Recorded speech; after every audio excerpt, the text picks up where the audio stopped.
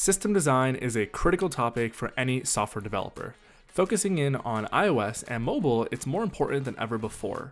A comment and question that I get very frequently is to do some material on system design. So this is the first video of many to come where I'm going to be talking exclusively about system design as a concept, as well as how to prepare for it for a upcoming interview.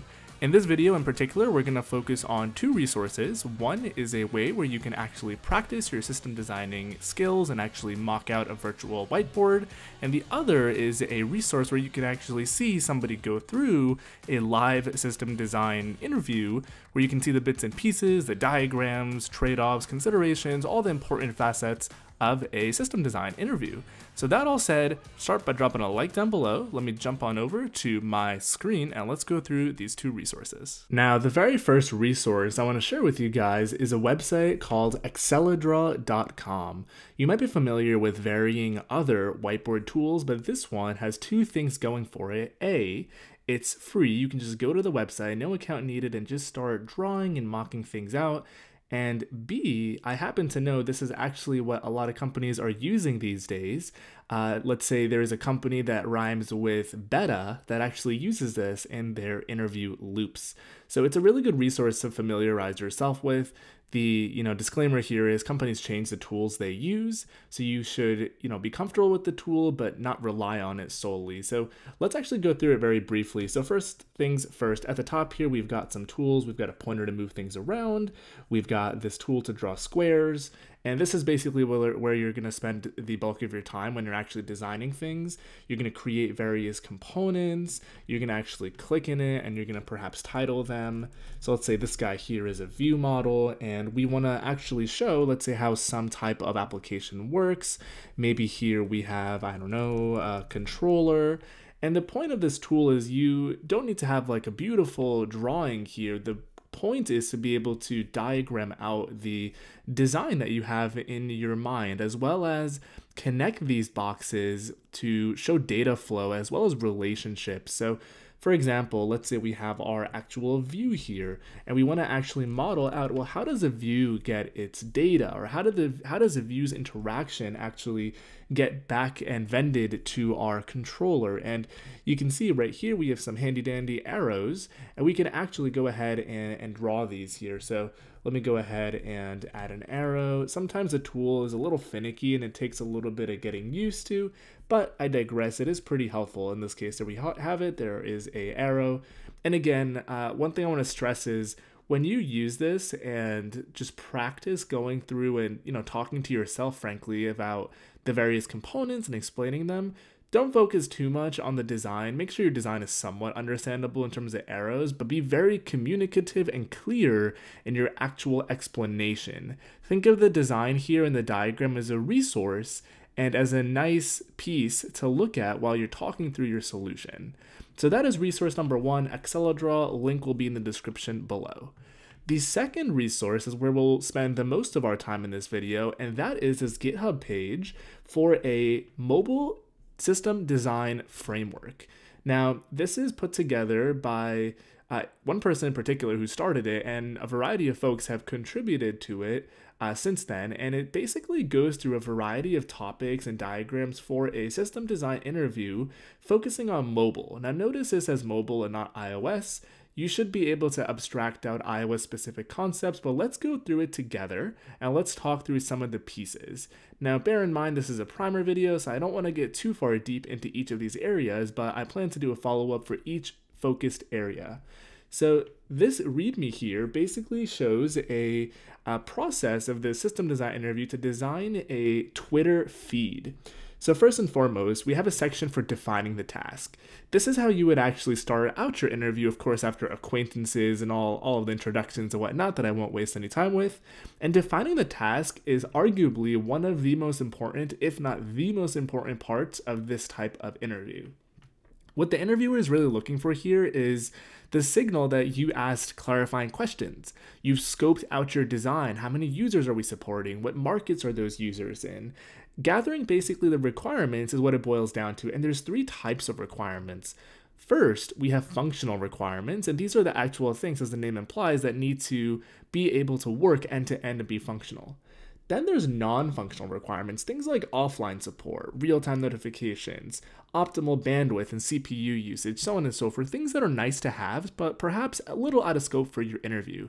It's really good to call these out just so your interviewer knows or whoever you're discussing with that, you know, you've thought about these. They're definitely not an afterthought to you, but in your discussion today, you're going to focus on one thing. And the third thing here is out of scope, right? So out of scope should be fairly self-explanatory. If you're designing the Twitter feed, your interviewer probably doesn't care to know like okay how does authentication work or OAuth it's probably good to call out that you need to have like a token and you need to have you know a capability to send tweets in this particular example all the peripheral services but you're not going to actually design these so moving on from actually uh, the requirements and what one thing i'll mention is each of these sections has the signal aspect and this is what the interview is re- interviewer is really looking for. So in this case um, you know what assumptions did you make? What features uh, did you actually choose to build out in your design? What questions did you ask? And this is kind of good to see as an as a candidate because you can see the thought process generally of course of interviewers and what they're looking for. So moving on to the next section we have clarifying questions here. I'm going to gloss over this the first thing that you want to do, and this is a little subjective too, but I've found that this is a good practice for most folks, is start off high level. Now, there's a lot of aspects of designing the Twitter feed in your iOS app or mobile app, but you might want to start off with the high level diagram and then dive deeper into the area that you think is most interesting based on your discussion. So, in this diagram, one thing that a lot of folks will ask questions about is well, hey, I see some components here like a backend and a server and a CDN. What gives? This is iOS and mobile. We're not backend engineers. And the one thing that I'll mention is while you don't need to have the most, uh, you know, in-depth knowledge about backend and things like sharding and replication or redundancy, it is expected at a lot of companies to know that you know the server isn't just magic magical right? Like there are trade-offs of you know having a cdn how does your api gateway work? Are you using graphql? Are you using rest apis you know are you assuming there's a caching layer? So on and so forth. So there is an expectation to at least understand the boundary here between backend and your front end which will be your mobile client now, diving deeper into this mobile client, we see things like a API service, a repository, a persistence layer. We see a dependency injection graph here. So a lot of key components that every single application, especially at scale, is prone to have at some points. We also see things that are specific to, you know, the Twitter app. So the tweet feed flow, we see a tweet detail flow, and then we see a coordinator between them.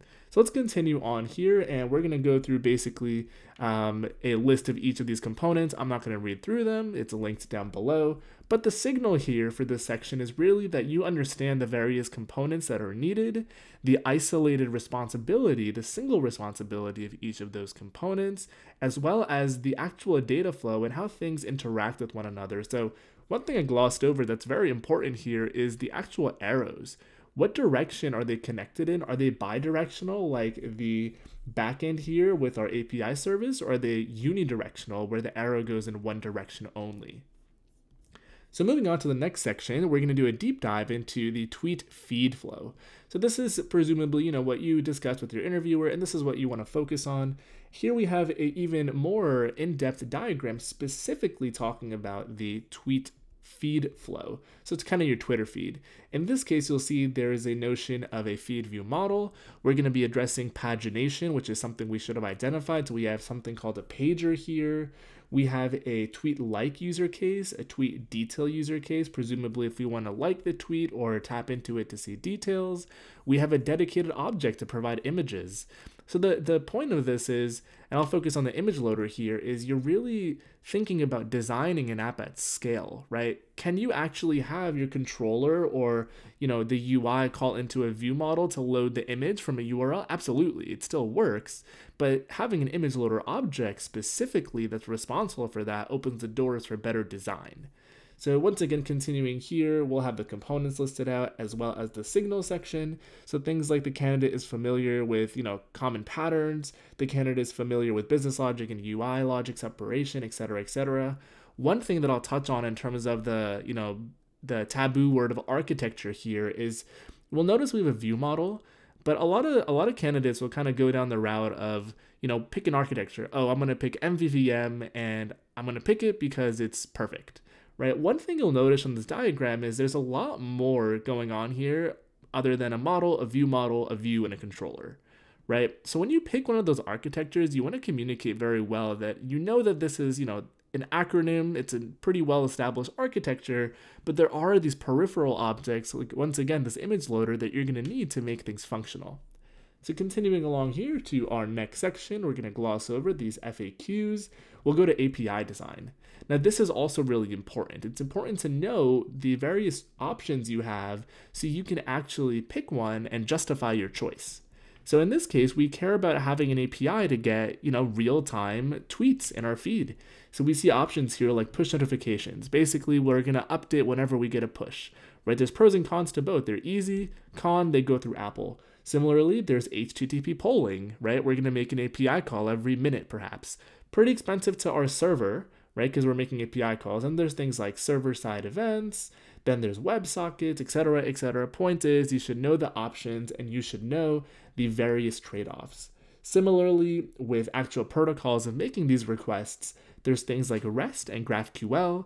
One thing I'll call out here is if you know that a certain company is already using one of these paradigms, it's good to understand why and it's good to prepare ahead of time.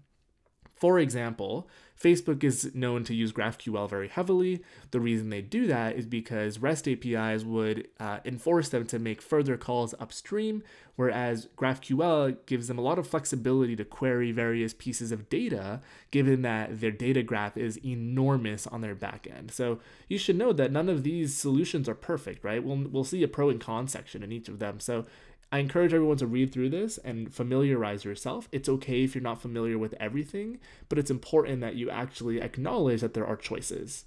So moving on to the pagination section, once again, same deal here. You can do offset-based pagination, key set-based, cursor-based. I encourage you to read through it and figure out what the pros and cons are and really have these in your tool belts when this question inevitably comes up. So let's see, what else do we down, have down here? We have providing signal. So once again, candidates aware of challenges related to poor network conditions and expensive traffic. This is very important when you're building and designing for scale. Just because something is functional and work does, works does not mean it's a good design. The term good design is very subjective based on the business goals and the type of application you're making. So just make sure to go through this. So moving on to the data storage section, we have various storage options, of course, like user defaults, key value store. We have things like actual databases, an object relational map like core data. We have things like actual binary data like NS coding as well as codable, and then things like on-device storage that's secure like uh, keychain. Now, obviously, each of these different types of storage mechanisms is used and intended for a different case, and you should also be mindful of various you know peripheral concerns things like threading and things like atomically accessing objects as well as where that data is actually saved. Is it something that the user can access like the documents directory? Is it something like the temporary directory where it'll be you know cleared up like cache data? So you should be mindful of not only the choice you're making and don't just go for the thing that you know you're most comfortable with go for the thing that meets the needs of what you're designing so moving on here, we're almost done. We're at best practices and approach of the actual uh, data storage section. So here's the signal. Candidates aware of you know various mobile storage types, security limitations, and compatibility, uh, as well as the various use cases and scenarios. Now this is basically the topics that this document here goes in depth with. Now there's a section down here for additional topics. You'll notice it's fairly lengthy within its own right. And the reason for that is this is a work in progress uh, document, but I at least want to just skim through these really quickly. From the mobile perspective, of course, security and data privacy are extremely important, especially nowadays more than ever. You know, targeting platform changes, whether it's Android or iOS, and you want to have something in iOS 14, how you're going to think about backwards compatibility. Performance and stability are huge, thinking about things like um, you know, how you're going to actually meter and rate limit data usage, bandwidth, CPU, battery life, uh, bootstrapping, otherwise known as startup time, how you're going to manage memory, right? We build small apps with assumptions of, you know, like this stuff just kind of works. But when you're designing large scale applications, it's critical that you think about most of these elements. One thing I'll mention before I wrap up here is it is understood in discussions and system design interviews, whether you're doing it with a colleague or as a you know candidate in an interview, is you have about an hour. So you need to be mindful of, you know, how deep you go into these areas as well as your breadth of explanation. So that's the reason that most folks are encouraged to go pretty wide with uh, you know this diagram here. And once you actually understand that, okay, your interviewer wants to talk about the tweet feed flow, you can you know, drill down deeper and deeper. It's great to go wider before you start to go deeper uh, in terms of your explanations so you can optimize on the thing that the interviewer cares about or your colleague, you know, in a work setting. So that is all I've got for you guys today. Hopefully, pretty quick primer. I'm going to share both of these links down below. And I plan to do a couple of actual mock system design videos here using Excalidraw, where we'll actually design out things like the Instagram feed or Snapchat stories or any other types of apps that you guys are interested to see. I think those are pretty popular, well-known apps, which is why they came to mind. Let me know in the comments down below if you have something particular you'd like to see, as well as if you have any suggestions for a system design that I haven't covered here. So if you haven't done so already, drop a like down below, hit subscribe if you want to stay tuned, hit that bell icon to be notified when new videos go up. Thanks for watching, I'll see you on the next one.